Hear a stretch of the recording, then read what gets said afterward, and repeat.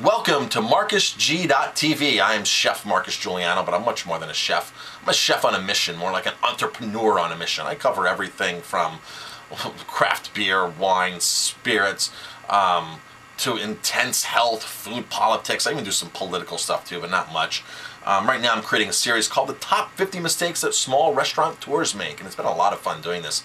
Um, I've been a small restaurant tour owner for the last 10 years and before that I was a partner in a restaurant in Colorado that I made a lot of mistakes there and I you know when people say I'm going to become a partner in a place I've been in partner I'm like oh, talk to me before you sign anything. You there's a lot of things you need to clarify up front I've done it I've made the mistakes and I'm not sorry I did it but I'm here to share what I did. So here I'm going to share 10 years worth of marketing techniques, business operations, simple things that will revolutionize your restaurant to generate more money and to create less work for you because you're gonna have more money to have hired you hire people, you're gonna have systems in place. It's an awesome, awesome, beautiful thing. So, mistake number 22, you don't respond to bad internet reviews. I see a lot of restaurateurs just don't respond to the bad ones mistake. You have to respond to the bad reviews. That is that that is when somebody is giving you honest feedback, whether you believe it or not.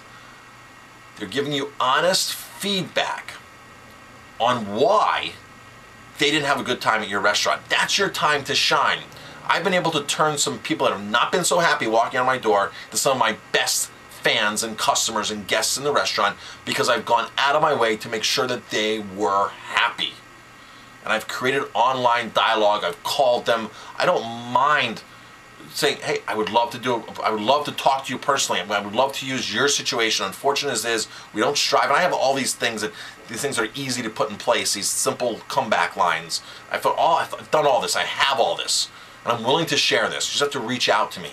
So I will show you how to respond to bad reviews and turn those people into good guests. It's easy to do. In fact, a lot of these people actually remove their ratings once you've responded to them.